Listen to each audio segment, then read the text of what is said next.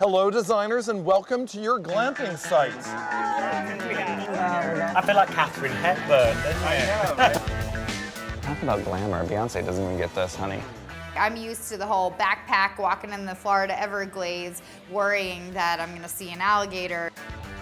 So this is fantastic. Oh, this is lovely. So we don't have to be inspired by nothing out here.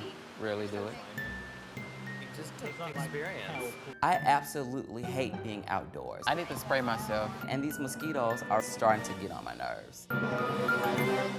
So what first? Yoga, zip line? I'm very excited. I want to walk around, I want to paddle in the stream, let the environment take me. I want to do everything.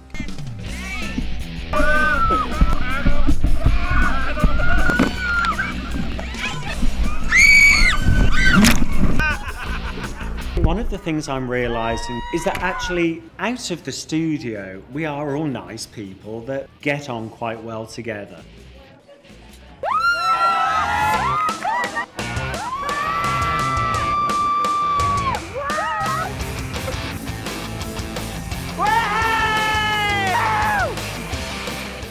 Oh, Lord. I don't feel my legs. My heart is racing. I think I'm gonna die. Oh! oh Thursday. Looks like she went camping and got bit by a raccoon that had rabies. I'm gonna stop myself. This is awful. It's the shocking ending you can't miss. The Emmy nominated Project Runway. All new Thursday at 9 on Lifetime.